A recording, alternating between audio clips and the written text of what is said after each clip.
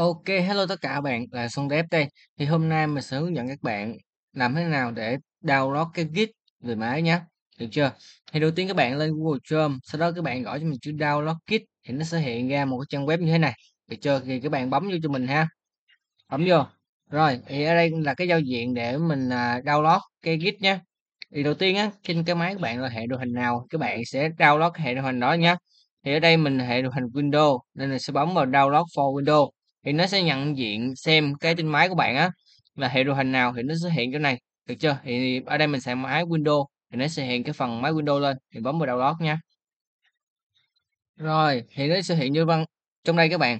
Thì đầu tiên các bạn, ở đây nó có phần là standalone install nè, được chưa? Thì đây là bạn bạn trên máy của bạn á. Trên máy của bạn mà hệ điều hành trên 32 bit á, hoặc là 64 bit thì các bạn hãy chọn đúng cái cái à, 64 và 32 bit của bạn nhé thì nếu mà các bạn có thể vào ngay chỗ này cũng được.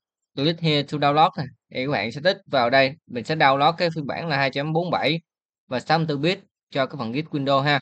Thì nó sẽ nhận diện cái cái hệ điều hành của bạn mà tải đi về máy của bạn ha. Thì ở đây mình sẽ chọn phần là click here to download. Sau khi uh, cài đặt các bạn thì các bạn sẽ hiện phần này nè. Nó sẽ đang trong quá trình cài đặt nhé. Rồi sau khi mà các bạn hiện phần này nè đã cài đặt thành công thì các bạn nháy vô mình luôn nha. Bạn bạn nhắn vô cho mình luôn. Sau khi nhắn vô các bạn thì nó sẽ hiện ra một cái giao diện như thế này. Thì các bạn sẽ phần này ha thì các bạn hãy tích xuống đây cho mình phần install cho mình nhé bấm vào install được chưa? Rồi ok. Thì cái phần này các bạn ở đây mình đã cài đặt sẵn rồi. Các bạn ở đây ở đây là mình đã cài đặt sẵn cái grid rồi nên nó đầu tiên nó sẽ remove cái grid uh, hiện tại của mình.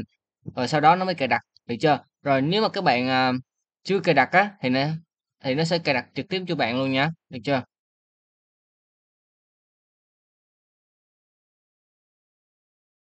Rồi, sau khi cài đặt thành công các bạn thì nó sẽ hiện ra cái giao diện là complete the restore uh, à, wizard thì các bạn trong này nè nó bảo mình có hiện cái phần release note hay không hoặc là lên hiện cái giao diện của dispatch hay không thì bạn khỏi tích luôn. Bạn bỏ cho mình cái phần này ha. Rồi bạn bấm chữ finish cho mình ha finish.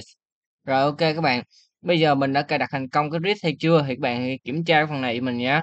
Đầu tiên các bạn bấm vào cái chữ Windows hoặc là bạn bấm cái giao diện mà tìm kiếm á các bạn gõ cho mình chữ c à, gõ cho mình chữ là G I T. Rồi được chưa? Rồi T. Rồi nếu mà nó hiện cái phần này các bạn ngay chỗ app này nó hiện phần dispatch hoặc dis uh, à, GUI nè. Được chưa? Là mình đã cài đặt thành công rồi đó các bạn. Được chưa? Thì bây giờ mình sẽ làm cái gì? Thì các bạn bấm vào dispatch cho mình nhé. Mình gõ chữ dispatch của mình bấm vô cho mình nó hiện ra cái giao diện này là coi như mình đã cài đặt thành công rồi. Và tiếp tục mình sẽ kiểm tra xem mình coi cái đúng cái phiên bản là 2.47.0 này không. Thì mình gõ chữ phần là risk gạch gạch version cho mình nhé. Gạch gạch version, được chưa? Enter.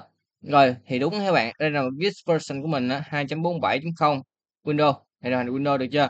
Thì coi như mình đã cài đặt thành công cái git này nha các bạn thì à, ở video sau mình sẽ hướng dẫn các bạn làm thế nào để cài đặt cái RIS desktop trên cái máy tính luôn nha. Được chưa? Thì cảm ơn các bạn đã xem video. Hẹn các bạn ở video sau nhé.